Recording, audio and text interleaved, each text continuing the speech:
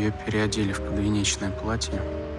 Служанки хотели поправить ее голову, прикоснулись.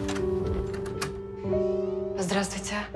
Сава, меня зовут Анна Германовна. А изо рта у нее потекла черная жидкость. Сава, что это за глупости? Никогда больше не приноси цветы. Скажи еще раз. Что? Мое имя.